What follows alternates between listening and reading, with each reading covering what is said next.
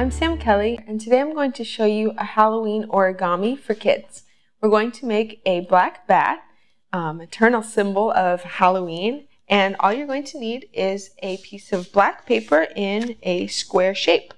So, first step is to fold it in half to make a big triangle, and then we're going to fold that triangle up from the base, and we're going to go almost to the edge, leaving just a little triangle sticking out. And that triangle is going to get folded down.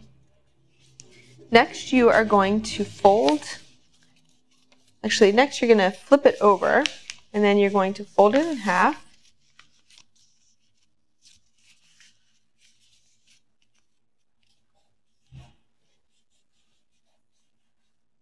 And you should still see that little triangle that you folded down. That's the side that you should be on.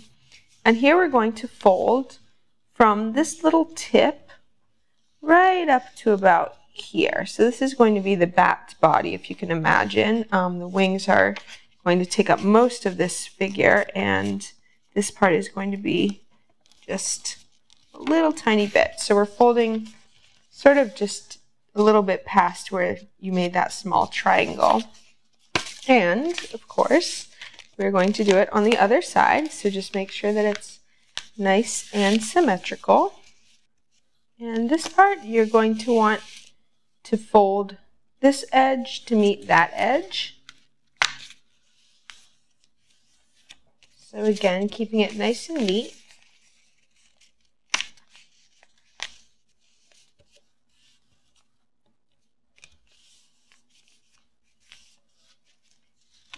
And then you're going to fold this part down.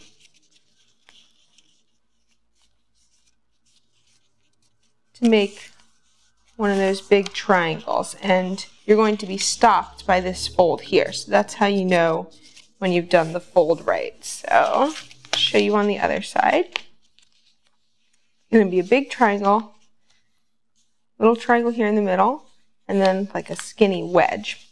And so when you open it up, what you have is a nice, simple origami bat.